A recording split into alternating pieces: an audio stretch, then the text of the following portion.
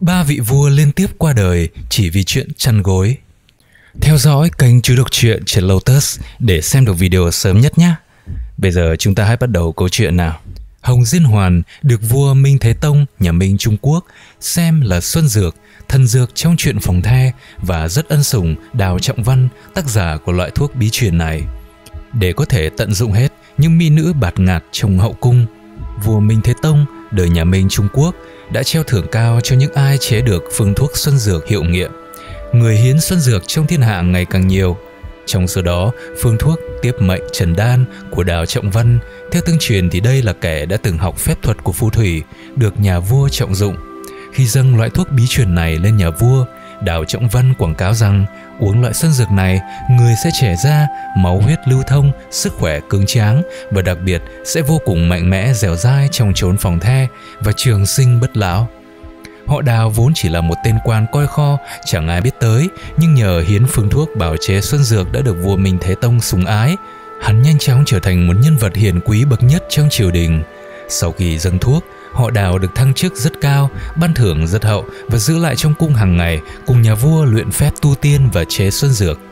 Nhờ có thuốc bí truyền và miệng lưỡi dẻo hoạt, họ đào rất biết cách dùng những lời lẽ kích động thu tính dâm dục trong con người Minh Thế Tông. Chính vì thế, vị vua tham mê nhục dục này dù lúc đó đã ngoài 50 tuổi, sau khi uống thuốc của họ đào có thể mây mưa với cung tần mỹ nữ liên tục tùy theo ý muốn cả ngày lẫn đêm. Từ đó, Minh Thế Tông càng xào nhãng công việc triều chính, thậm chí còn làm rối loạn cả trật tự hậu cung. Luật thời đó ghi rõ, cung nữ sau khi được nhà vua ngự hạnh, sáng hôm sau sẽ phải tới báo danh để tạ ơn và sẽ được nhà vua ban cho danh hiệu. Nhưng Thế Tông đã ngự hạnh loạn xạ, không kể ngày đêm nên việc tạ ơn và ban thưởng không sao thực hiện được. Theo tương truyền thì phương thuốc bí truyền của họ đào cực kỳ quái dị. Theo đó, Nguyên liệu số 1 để chế hồng diên hoàn là kinh nguyệt lần đầu của phụ nữ, còn gọi là hồng diên, đựng trong những vật dụng bằng kim loại rồi cho thêm xương đêm, ô mai vào, sau đó đem sắc 7 lần. Sau khi đã sắc 7 lần những loại nguyên liệu đó, lại cho thêm trầm hương, chu sa, nhựa thông vân vân rồi luyện bằng lửa, cuối cùng mới cô đặc lại thành thuốc viên để dùng. Để chế loại xuân dược quái đản này, Minh Thế Tông đã tổ chức rất nhiều đợt tuyển mỹ nữ với độ tuổi chỉ từ 11 đến 16 để lấy nguyên liệu. Theo sách Minh Thực Lục có chép rằng từ năm 1547 cho tới năm 1564, Hoàng đế Triều Minh đã chọn vào cung hơn 1.000 thiếu nữ. Như vậy, chỉ tính riêng chuyện đi tuyển người rồi bào chế thứ được xem là xuân dược cho Minh Thế Tông đã tiêu tốn khá nhiều công sức, tiền của và lũng loạn xã hội thời bây giờ vì không ít các cô gái bị bắt khi còn quá nhỏ tuổi, ngày đêm kêu khóc vì nhớ cha mẹ. Nhiều gia đình rơi vào cảnh hoảng loạn vì con gái bị bắt đi, có gia đình thì phải giấu con gái do lo sợ bị bắt. Không chỉ vậy, sự dâm loạn và tàn độc của Minh Thế Tông đã dẫn tới một cuộc nổi loạn trong cung khi những người tham gia cuộc nổi loạn này toàn bộ đều là cung nữ. Những cô gái bị bắt vào cung để lấy dược liệu bào chế xuân dược, sau đó lại được dùng để kiểm tra chất lượng của loại thân dược này đã không chịu được sự áp bức của ông chủ hậu cung và quyết định làm loạn. Dương Kim Anh là cung nữ cầm đầu cuộc nổi loạn sau đó, mười mấy cung nữ cùng lúc xông lên, dùng dây thừng siết vào cổ hoàng đế Thế Tông, định giết chết ông ta.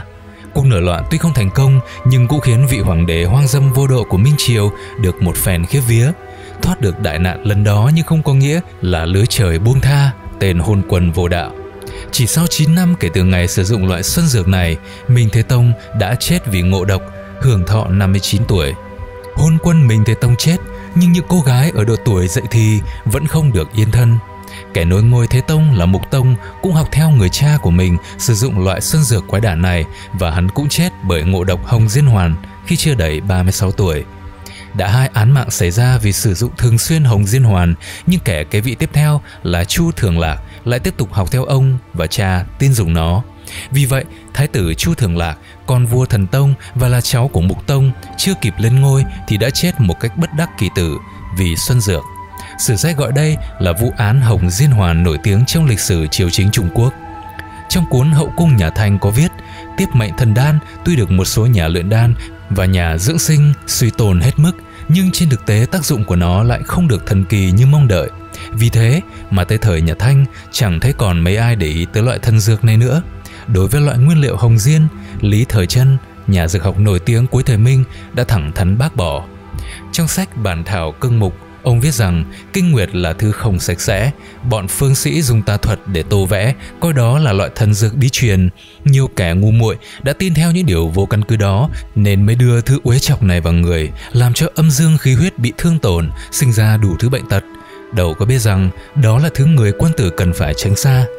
Các nghiên cứu về sau cũng khẳng định trong hồng diên cũng như kinh nguyệt của phụ nữ không chứa các chất có tác dụng hồi xuân cũng như những chất đặc biệt có tác dụng để chữa bệnh. Vì vậy, trong các sách thuốc của đông y hiện đại không còn thấy đề cập đến hồng diên nữa. Nếu như thực sự có loại thuốc tăng khả năng chăn gối nhưng lại giảm tuổi thọ của bạn, bạn có sử dụng hay không? Hãy để lại bình luận ở bên dưới nhé.